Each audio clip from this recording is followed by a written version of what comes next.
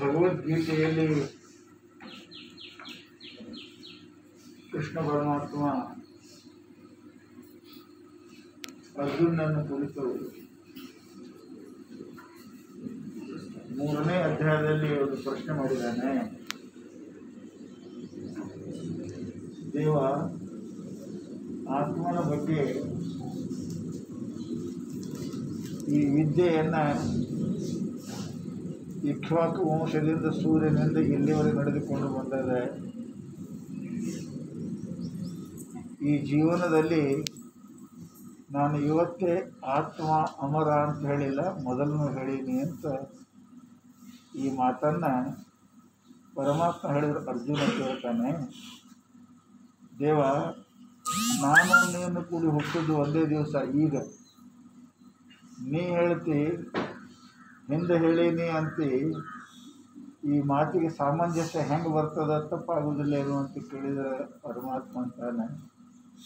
ಬಹುನೀಮಿ ವ್ಯತೀತಾನಿ ಜನ್ಮಾನಿ ತವಚ ಅರ್ಜುನ ತಾನ್ಯಹಂ ವೇದ ಸರ್ವಾಣಿ ನತ್ವಂ ವೇತ್ತ ಪರಂತಪ ಅರ್ಜುನ, ನಾವು ನೀವು ಹುಟ್ಟಿ ಬಂದದ್ದು ಬಹಳ ಸಲ ಹುಟ್ಟಿ ಬಂದೀವಿ ಭಾಳ ಸಲ ಹೋಗಿದ್ದೀವಿ ನಿನಗೆ ಗೊತ್ತಿಲ್ಲ, ನನಗೆ ಗೊತ್ತದೆ.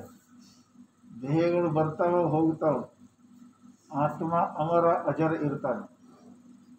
ದೇಹ ಯಾರ್ದು ಶಾಶ್ವತ ಅಲ್ಲ ಜಾತಸ್ಸಹಿ ಧ್ರುವ ಮೃತ್ಯು ಹುಟ್ಟಿದವರು ಸಾಯಲೇಬೇಕು, ಸತ್ತವರು ಹುಟ್ಟಲೇಬೇಕು, ಇದು ನಿಯಮ ಇರುವುದರಿಂದ ನೀನು ಗೊತ್ತು ಇಲ್ಲದಕ್ಕೆ ಆತ್ಮನೂ ಸಾಯ್ತಾನೆ ಅಂತ ಹೇಳ್ತಾ ಇದ್ದಿ. ಆತ್ಮ, ಅಜರ, ಅಮರ. ಆತ್ಮ ಏನಾದರೂ ಪುಣ್ಯ ಗಳಿಸಬೇಕು ಅಂದ್ರೆ ಈ ಶರೀರದಲ್ಲಿ ಒಂದೇ ಗಳಿಸಬೇಕು. ಹಾಗೆ ದುಡ್ಡು ಗಳಿಸ್ಬೇಕಾದ್ರೆ ವ್ಯಾಪಾರ ಮಾಡಬೇಕು, ದುಡಿಯೋ ದುಡಿಬೇಕು ಉದ್ಯೋಗ ಮಾಡಿದ್ರೆ ಹೆಂಗೆ ದುಡ್ಡು ಬರ್ತದೆ. ಹಂಗೆ ಪುಣ್ಯ ಪಾಪಗಳು ಈ ಶರೀರದಿಂದನೇ ಬರ್ತವೆ. ಅದಕ್ಕೆ ಈ ಶರೀರದಲ್ಲಿ ಬಂದ ಮೇಲೆ ಮನುಷ್ಯ ಗಳಿಸೋದು ಜ್ಞಾನ, ಪುಣ್ಯ. ಅದನ್ನು ನಾವು ವಿಚಾರ ಮಾಡಿದರೆ ಈ ಮನೆತನದ ಹಿರಿಯರು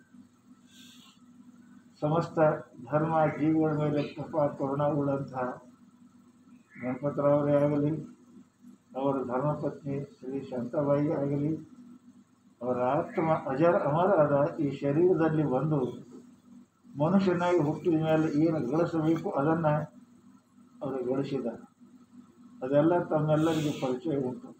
ಸರ್ವಧರ್ಮ, ಸಮನ್ವಯ ಭಾವ. ಅದರೊಳಗೆ ಈ ವಿಧಾನದಲ್ಲಿ ಈ ಚಿದಂಬರ ಆಶ್ರಮ ಇಷ್ಟು ದೊಡ್ಡದಾಗಿ ಬೆಳೆಯಲಿಕ್ಕೆ ಕಾರಣ ಅಂತಂದ್ರೆ ಈ ದಂಪತಿಗಳೇ ಕಾರಣ. ಅದರೊಳಗೆ ಮಾಯಿ ಅಂದ್ರೆ ಎಲ್ಲರಿಗೂ ಪ್ರೀತಿಯಿಂದ ಸಮಸ್ತ ನಮ್ಮ ಮಠದ ಭಾರ. ನಾವು ಎಲ್ಲೇ ಹೋಗಲಿ, ಎಷ್ಟೇ ದಿನ ಹೋಗಲಿ, ಮಠದ ಕಾಳಜಿ ಮಾಡ್ತಕ್ಕಂಥ ಏನಪ್ಪ ಅಂದ್ರೆ ತಾಯಿ ಅಕ್ಕಿ ಶಾಂತಾಬಾಯಿ. ಅವರ ತೂಕ ಅವರೇನಪ್ಪ ಅಂತ ಕೇಳಿದರೆ ಸಮಸ್ತ ಕುಟುಂಬ ಪರಿವಾರಕ್ಕೆ ದುಃಖ ಆಗುತ್ತೆ ಸ್ವಾಭಾವಿಕ ಅದ ಛತ್ರ ಛಾಯ ಕಳ್ಕೊಂಡು ಮನುಷ್ಯನ ದುಃಖ ಆಗುತ್ತದೆ ಹೊರತು ಅದು ಅನಿವಾರ್ಯದ ಸಹನ ಮಾಡಲೇ ಬೇಕಾಗುತ್ತದೆ. ಇಷ್ಟೇ ತಾಯಿ ತಂದೆ ನಮ್ಮ ಸೇವೆ ಏನು ಅಂದರೆ ಮುಖ್ಯ ಅದೇ ಅದ. ಅವರು ನಡೆದ ದಾರಿಯಲ್ಲಿ ನಾವು ನಡಿಬೇಕು ಅಂದ್ರೆ ತಂದೆ ತಾಯಿ ಋಣವನ್ನು ತೀರಿಸಿದಂಗಾಗ ದುಡ್ಡಲ್ಲ, ಯಾವುದೂ ಅಲ್ಲ ಹೇಳ್ತೀನಿ ಅದಕ್ಕೆ ಹೇಳ್ತಾರೆ ಅವರು, ತಂದೆ ತಾಯಿಯ ದಾರಿಯನ್ನು ನಮ್ಮ ಜೀವನದಲ್ಲಿ ನಾವು ನಡೆಸಬೇಕು. ಅವರನ್ನು ಉದಾರ ಭಾವ ಪ್ರೀತಿ, ಪ್ರೇಮ. ನಾವು ನಡೆದುಕೊಂಡ್ರೆ ತಾಯಿ, ತಂದೆ ಋಣ ಬರ್ತಾರೆ ಲಕ್ಷಿಟ್ಟು ಬರುವುದಿಲ್ಲ ಅಂತಹ ಸದ್ಬುದ್ಧಿ ನಮ್ಮೆಲ್ಲರಿಗೂ ಕೊಳ್ಳಿ ನಿನ್ನ ಒಳ್ಳೆ ಇಂಥದ್ದು ಬೇಡಿ, ಬಯಸಿದ್ರೆ ಬರಲಾರ್ದಂತಹ ದಿವಸ.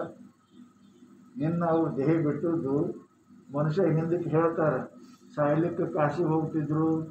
ಉಪವಾಸ ಹಾಕಿದ್ದು ಜೈಲು ಉಪವಾಸ ಬಿಡ್ತಾರೆ ಒಳ್ಳೆಯ ದಿವಸಕ್ಕೆ ಅಂತ ಅಪೇಕ್ಷೆ ಮಾಡಿ ಬಯಸಿದ್ರೂ ಬರಲಾರ್ದಂಥ ಅದು ದಿವಸ ನಿನ್ನ ಮಾಯಿ ದೇಹ ಬಿಟ್ಟಿದ್ದಾಳೆ ಆಕೆಗೆ ವೈಕುಂಠ ವಾಸದಲ್ಲಿ ಯಾವ ಸಂಶಯ ಕೂಡ ಆಕೆ ಮಾಡಿದ ಪುಣ್ಯ ನಿನ್ನಕ್ಕೆ ದೇಹ ಬಿಡತಕ್ಕಂಥ ಸಮಯ ಇವೆರಡೂ ಕೂಡ ಆಕೆಯ ಆತ್ಮಕ್ಕೆ ಸತ್ಯದ ಸಿಗ್ತದೆ ಅಂದರೆ ಯಾವ ಸಂಶಯವಿಲ್ಲ.